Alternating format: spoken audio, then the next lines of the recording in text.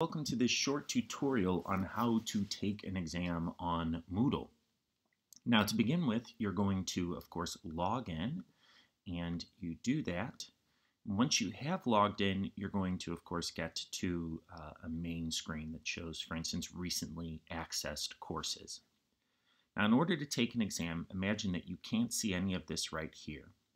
What you're actually going to do is you're going to click on the three bars in the top right hand corner and go to Site Home. Once you have done that, you're going to click on the button that says Vakkenhoudelijk georiënteerd leerlijn and you'll click on English, Engels. And finally, you're going to click on Online Exams. Now, as of right here, you'll be able to see several exams, but you'll only be able to access the exams that you've signed up for and that you've been given permission to enter. It's important to remember that the exams take place at the same time as they are located on your exam schedule, so you cannot take them whenever you want.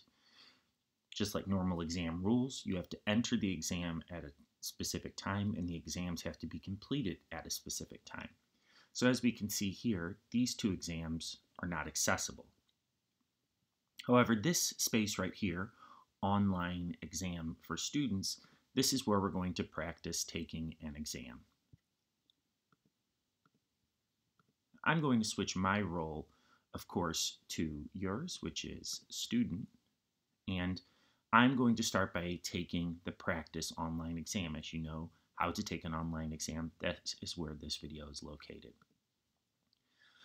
So once you get to the practice online exam, you can see that there are two parts to this practice online exam, and you must begin with part one. Now, before you begin, it's important to realize to, that you have to read the instructions. As you can see here, you'll have five minutes to complete the following questions. All questions not answered at the end of the five minutes will automatically be closed off. They will be submitted. So if you haven't answered them, then of course they're counted as wrong. Once you have answered a question, you cannot go back. You can also not move forward to see further que future questions until you have answered all the questions on the page. So what that means is, is that you're going to be given a question, you can't move forward and you can't move back. In order to enter the test, you click on Attempt Quiz Now. And then, of course, it says right here, this quiz has a time limit of five minutes. Time will count down from the moment you start your attempt and you must submit before it ex expires. Are you sure you wish to start now? You, of course, hit Start Attempt. Now, as we can go through here, we can start, I'm just going to randomly click on answers. And as you can see right here, here are the 10 questions, but I cannot click on any of them. You can also see right here that there is time left, which is telling me how much time I have left until the next uh, exam starts. So we can click here. I'll just choose some random answers.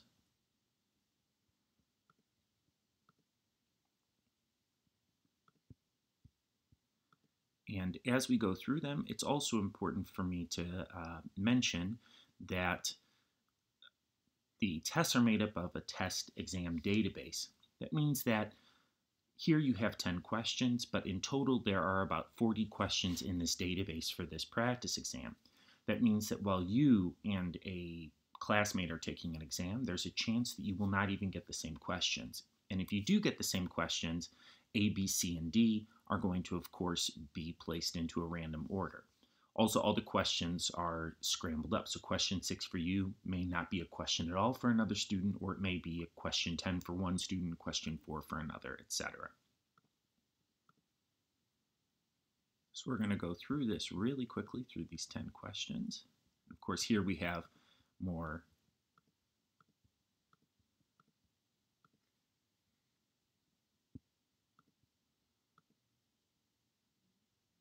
and of course here we also have a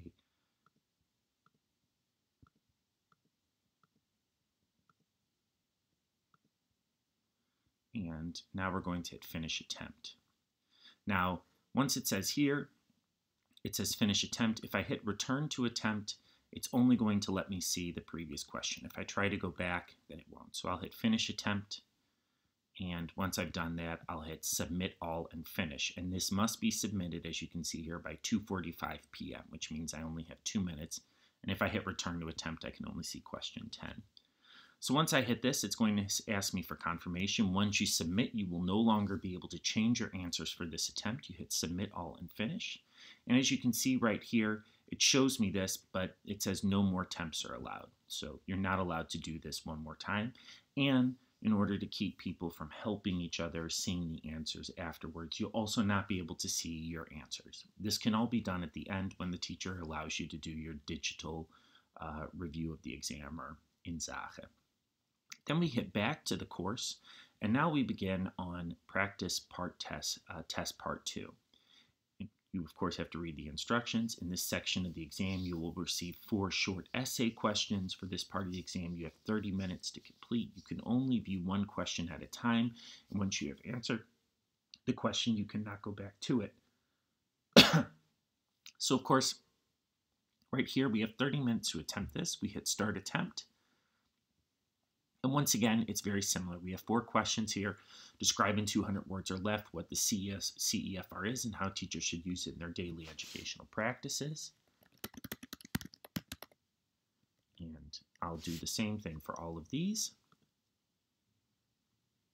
Of course, all of these questions, by the way, are questions that are uh, used in uh, various first year courses, so you should be able to answer all of them.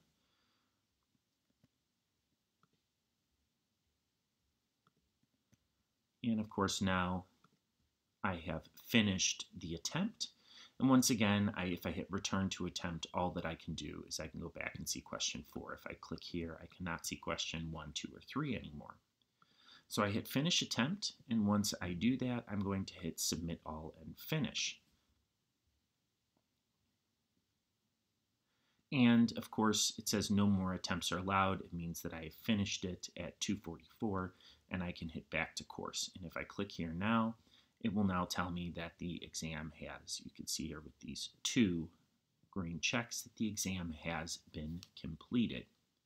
Now, there are a few other points that you have to remember when taking an online exam. One of them is that uh, the computer uh, registers who is taking the exam, and of course, all of the exam answers are checked using a plagiarism system. So if the computer believes that there is plagiarism going on, the computer will notify the teacher.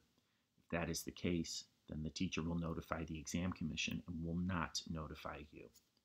If you have any other questions about taking an online exam, and this is about procedural, how it works, uh, what browser you need to use, by the way, you can use any browser, but any questions like that, you can click here on Ask Questions About Exams. If there are specific questions about specific exams, the way that they look, please contact your teacher. Thank you very much, and I hope that this has been helpful.